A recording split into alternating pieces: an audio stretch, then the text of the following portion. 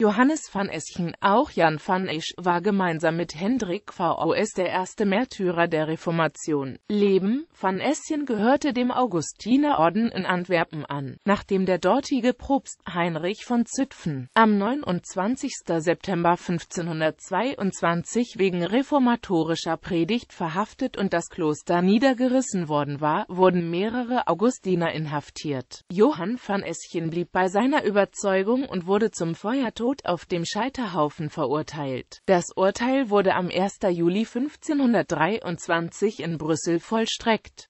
Als Martin Luther davon erfuhr, dichtete er ein neues Lied Wir heben an, ein neues Lied Wir heben an, das wollt Gott unser Herr zu singen, was Gott hat getan zu seinem Lob und Ehre zu Brüssel in dem Niederland. Wohl durch zwen junge Knaben hat er sein Wunder gemacht bekannt, die er mit seinen Gaben so reichlich hat gezieret. Gedenktag, 1. Juli im evangelischen Namenkalender